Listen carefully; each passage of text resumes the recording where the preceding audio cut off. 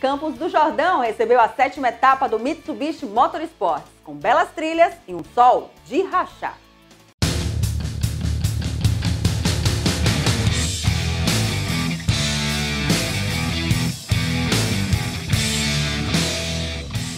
Um sábado com um clima típico das montanhas recebeu os competidores do Rally de regularidade Mitsubishi Motorsports em Campo do Jordão, interior paulista.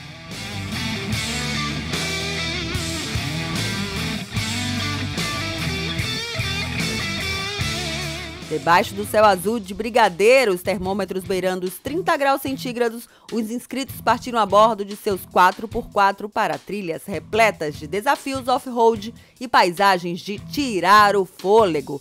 Esta foi a sétima etapa da temporada 2019, que é ainda mais especial porque celebra os 25 anos de existência do Rally, evento criado para que os clientes Mitsubishi possam sentir e comprovar a aptidão off-road de seus carros. Tem quem participe desde sempre, como Paulo César Silveira, que trouxe os filhos Ana Raquel e Pedro Felipe. Para ele, tudo começou em 1994, quando ele e o irmão participaram do primeiro rally.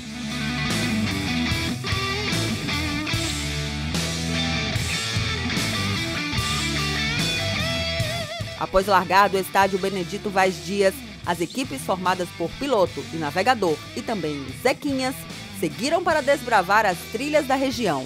A categoria Turismo Light, destinada aos iniciantes, percorreu cerca de 140 quilômetros num trajeto inédito e cruzou também estradas pelas cidades de Santo Antônio do Pinhal, Monteiro Lobato, São Francisco Xavier e Sapucaí Mirim.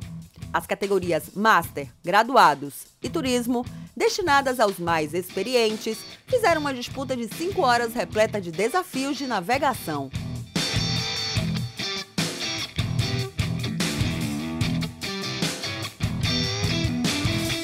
Na categoria Turismo Light, Gabriel Winter Temeleiro e Natália Rezende Campos Matos, a bordo de uma L200 Triton, celebraram vitória. Esse foi o sétimo pódio da dupla, mas no primeiro lugar foi a primeira vez.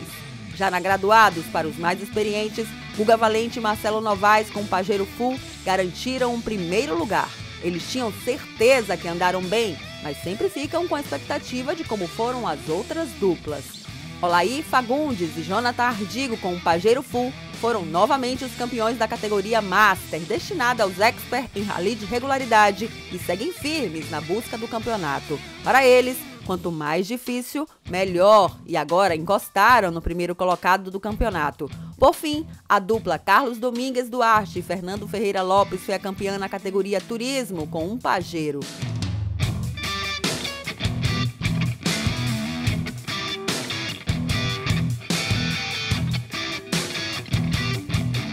O próximo encontro da Nação 4x4 será dia 26 de outubro em Fortaleza, no Ceará.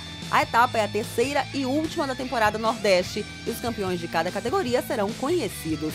Os melhores da Turismo, graduados e Master ganharão viagens de prêmio.